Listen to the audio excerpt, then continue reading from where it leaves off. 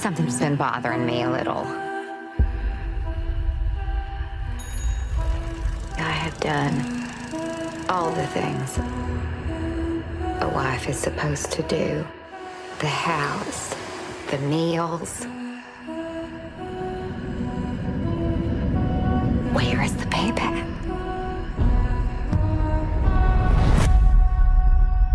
I'm very attracted to you.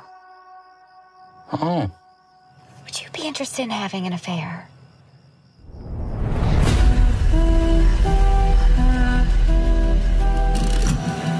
You two just looked at each other like you got a secret.